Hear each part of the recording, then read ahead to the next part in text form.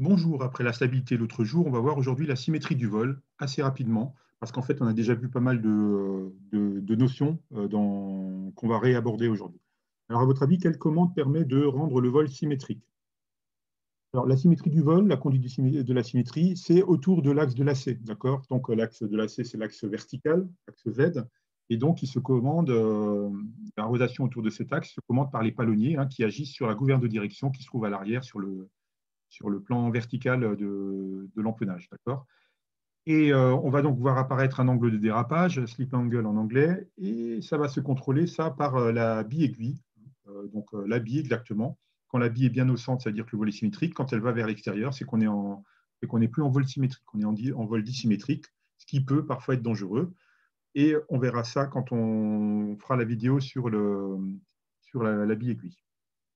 Alors, euh, comment est-ce que, quand est-ce que c'est surtout important? C'est surtout important quand euh, on est en virage, d'accord? Donc, euh, quand on met l'avion le, en virage, d'accord? Donc, on met le manche d'un côté, d'accord? Et on va avoir l'effet de l'acier inverse qui va apparaître, qu'on verra dans une vidéo sur les effets, sur les effets aérodynamiques. Mais donc, ce l'acier inverse va entraîner un dérapage qui est dangereux. Et donc, il faudra mettre du pied dans le virage pour éviter ça. Ça s'appelle pour euh, limiter ça, ça s'appelle conjuguer les commandes. Une action euh, simultanée du manche sur le manche et sur les palonniers pour conserver la symétrie du vol.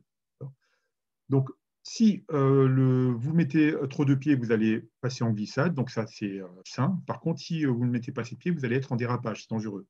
pour bien comprendre ça, pour vous le représenter, imaginez-vous une voiture qui rentre dans un, dans un anneau de vitesse, avec euh, donc, euh, dans un virage, euh, donc, un virage penché, comme dans un vélodrome. Vous savez, le vélodrome, vous avez des vélos. imaginez plutôt avec un vélo. C'est plus difficile de garder l'équilibre en vélo. Donc, un vélo qui arrive dans un vélodrome penché avec beaucoup trop de vitesse, eh ben, il va déraper vers l'extérieur du virage, d'accord, vers le haut. Et donc, ça, c'est très dangereux parce qu'il ne, contrôle plus rien. Par contre, s'il arrive avec trop peu de vitesse, eh ben, il va glisser vers l'intérieur du virage. Et ça, c'est beaucoup moins dangereux. C'est très sain. Euh, la glissade, euh, elle est saine. On l'utilise parfois même en finale pour, euh, pour rattraper le plan. Enfin, dans les anciennes méthodes de pilotage, on utilisait ça. Maintenant, c'est plus ce qui est préconisé.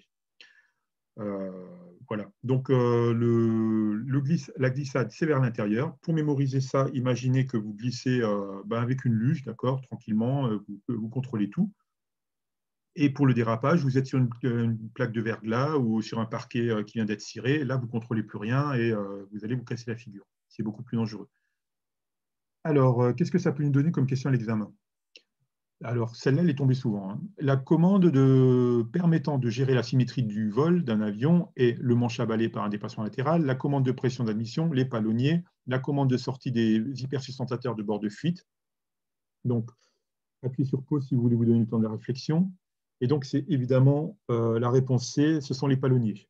Ensuite, la symétrie du vol de l'avion est gérée par la manœuvre suivante, le déplacement latéral du manche, l'action conjuguée palonnier-gouverne de direction, le réglage de la puissance du moteur, le déplacement d'avant en arrière du manche.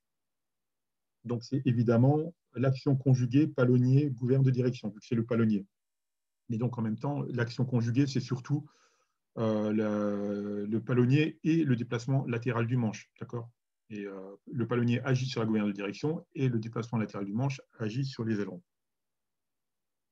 Donc c'est réponse B qui est attendue. Ensuite, parmi les situations suivantes, quelle est la moins dangereuse pour un avion en approche finale? Dérapage, glissade, vitesse proche de la vitesse de décrochage, virage à forte inclinaison.